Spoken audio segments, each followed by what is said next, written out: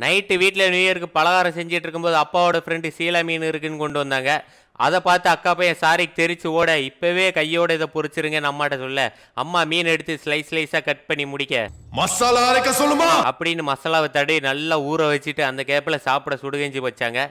அப்படியே தவால எண்ணெயை காய வச்சு நல்லா மசாலாவில் ஊறின வஞ்சர மீனை எடுத்து இந்த பக்கம் ஒரு புரட்டு அந்த பக்கம் ஒரு புரட்டுன்னு புரட்டி.